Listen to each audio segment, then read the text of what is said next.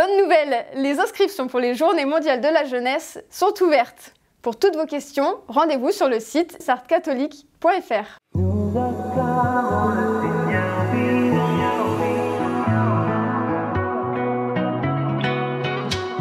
Inscrivez-vous dès à présent. Jusqu'au 1er février, le tarif sera de 800 euros au lieu de 850. Pour être avec lui. Pour la Sarthe, ce sera du 25 juillet au 8 août 2023. Les quatre étapes principales seront Loyola, Coimbra, Fatima et ensuite Lisbonne.